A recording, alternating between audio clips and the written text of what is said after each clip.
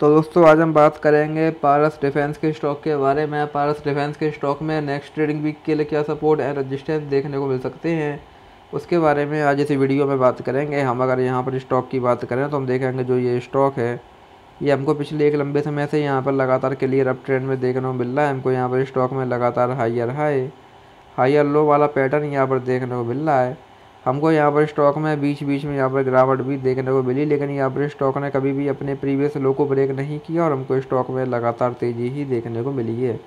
आज भी हमको यहाँ पर स्टॉक में 4.19 परसेंट की यहाँ पर तेज़ी देखने को मिली है तो यहाँ से भी हम स्टॉक में बात करें।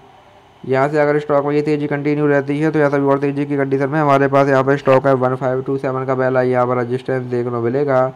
अगर स्टॉक ने इसको भी यहाँ ब्रेक किया देन यहाँ से हमको स्टॉक में अगेन एक बड़ी तेज़ी, एक बड़ी बाइंग यहाँ पर देखने मिल सकती है। इसके बाद हमको स्टॉक है one six five two then यहाँ से हमको स्टॉक में एटीन हंड्रेड और अगर स्टॉक इसको भी यहाँ ब्रेक करता है देन यहाँ से हमको स्टॉक में नाइनटीन हंड्रेड और उसके बाद हमको यहाँ पर स्टॉक में टू थाउज़ेंड और twenty one twenty two hundred तक के लेवल्स भी यहाँ पर देखने को मिल सकते हैं।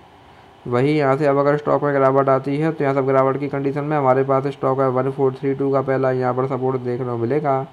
अगर स्टॉक इसको भी यहाँ ब्रेक करता है दैनी आज़म को स्टॉक है वन थ्री फोर एट और वन टू थ्री फोर तक के लेवल्स भी यहाँ पर देखने को मिल सकते हैं एज ए नेक्स्ट यहाँ पर सपोर्ट तो ये स्टॉक में कुछ इंपॉर्टेंट लेवल्स हैं, आप इन पर ध्यान दे सकते हैं। बाकी वीडियो में कोई बाय सेल होल्डिंग्स नहीं है। वीडियो केवल एजुकेशनल पर्पज़ के लिए धन्यवाद।